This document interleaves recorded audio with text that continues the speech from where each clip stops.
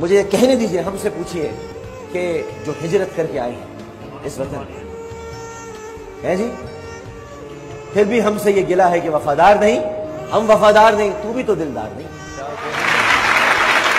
हम हिजरत करके आए।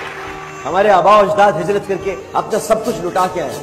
मेरे नाना को रोक रहे थे हसरत मोहानी। मेरी वालदा के कान में अजान मौलाना हसरत मोहानी ने। और रोक रहे थे, मत जाओ जिना के पाकिस्तान में। मेरे नाना ने कहा, मैं जिना के पाकिस्तान में नहीं जा रहा, मैं जिना के साथ जा रहा हूँ। जिना जा ले जाएगा, मैं नाना हम लोग छोड़कर आए हैं। सब कुछ लुटा पिटा कर यहाँ पर पहुँचे।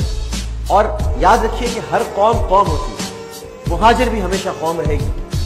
अगर मुहाजिर एक कौम नहीं होती तो रसूल करीम सल्लल्लाहु अलैहि वसल्लम मदीना पहुँचने के बाद भी मुहाजिर अपने आप को ना कहलवाते। मदीना मुकीम हुए।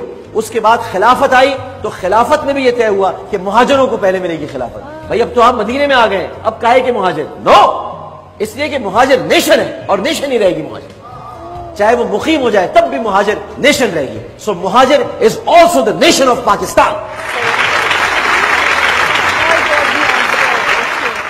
nation है। आप ये ना कहें कि ये पाकिस्तान हो गए तो पाकिस्तान नो ये हमारी आइडेंटिटी है। जिस तरह पंजाबी आइडेंटिटी है, पख्तून आइडेंटिटी है। बलोची आइडेंटिटी है, सिंधी आइडेंटिटी है, इसी तरह मुहाजिर भी आइडेंटिटी है। मुहाजिर का मतलब ये नहीं होता कि अगर आप यहाँ आ गए, बस गए तो अब आपकी आइडेंटिटी खत्म हो गई। नो अगर ऐसा था तो फिर खिलाफत राशिदा का पहला अंसारियों का था। अंसारियों को मिलनी चाहिए थी। नहीं रसूल अल्लाह ने फरमाया था कि खिलाफत राशिदा मुहाजिरों के पास होगी। पहला खलीफा मुहाजिर, दूसरा खलीफा मुहाजिर, तीसरा खलीफा मुहाजिर, चौथा खलीफा मुहाजिर।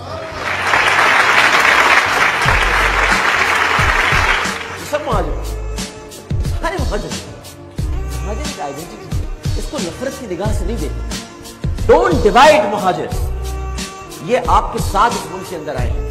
ये आपके मुल्क को लेकर चल रहे हम सब मिलकर चलें। लेकिन जब हम हम सब मुख्तलिफ़ दरिया हैं, कोई रावी है, कोई सतलुज है, कोई शनाब है, कोई जहलुम है, लेकिन जब सब मिलते हैं तो बुहर अरब बन जाता है।